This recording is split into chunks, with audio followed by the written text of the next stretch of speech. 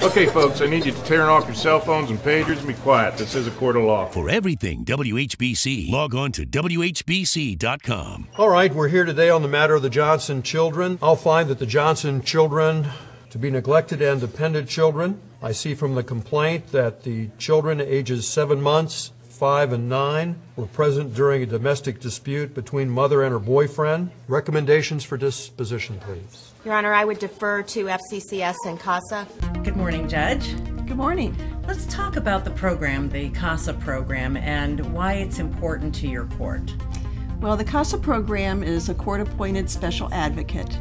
There, it's a volunteer group that we have, and they represent the best interest of the child in a case when the child's been removed from the parents for dependency reasons, neglect. In Stark County, the program started back in 1982, and it was a collaboration between Family Court and the Junior League, actually, here in Stark County. And our program has continued since then. We actually expanded into Carroll County in 2014. Denise, talk to me a little bit about um, what you do on a daily basis with the CASA program. Well, my job is to recruit new volunteers. We have many children in the county that need CASA guardians, and we're very low on volunteers right now, so I'm trying to get many more good volunteers in here for their kids. And what we need is someone who will get into the child's life, will go and meet the child, build a bond with the child, talk to the foster parents, meet with the parents. Our job is solely related to the child, to look at the child and do what's in the child's best interest. Talk to me a little bit about um, how you became a volunteer. Okay, it was actually, this is my second go with it. Um, about 20 years ago, my baby went to kindergarten and I needed something to do, and I loved kids. Tom, talk a little bit about why you chose to become a volunteer. I was a former school teacher. So, describe a visit, a typical visit with uh, a child that you're selected as a guardian for. Most of my visits are are uh, pre-scheduled, so that, you know the parents know, so their house isn't dirty, etc., etc.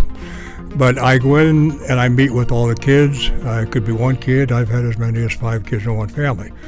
Uh, I meet with them on an individual basis as well as with the parents, or if the parents are, are present. If not, and there could be foster parents involved or relatives. They're all different. Right now, I have everywhere from an infant to 18. So you really have to approach every kid different. I kind of take things slow. I don't push them. Um, just let them get to know me a little bit, and then the bond just forms. And how do you match them to a case? Just it, it's just random, or do you kind of think about what the case is about and maybe some of, part of that person's personality? Well, yeah. Even better than that, we let them pick. So during the interview, we ask them what age of children they'd like to work with. Is there a particular area they would like? Um, beyond that, when we get a case, we then send it out and ask them, hey, would you like to work with an eight year old boy who has experienced this or you know whose parents are suffering from mental illness? But our job is solely related to the child to look at the child and do what's in the child's best interest. And the guardian comes to the court hearings and lets the court know how, what's going on with the child and it's our eyes and ears out there I have also learned through investigation that the domestic violence incident was probably not a one time occurrence. During my visits with the children, they began to open up with me. It's very difficult to get a child's trust.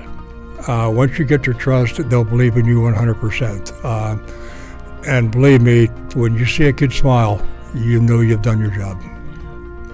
It's wonderful to make the bond with the kids that are going through a crisis. Um, you're sometimes the only person that is constant in their lives. If you had to tell someone who was listening or watching, um, you know, why they should do this, what would you say to them? I would say when you see that child smile and they run up to you and give you a big hug because you're the person they see the most and they can count on, it makes every hour you spend worth it. Well, there's nothing more important in this world than helping children, and that's exactly what these ladies do. And we want to say thank you for all you do. Hopefully, we can get some people to come and volunteer. And we want to welcome you to our Share the Good Stark County segment. Thank you for all that you do. Thank you. Thank you. Share the Good Stark County, brought to you by the Canton Regional Chamber of Commerce and News Talk 1480, WHBC.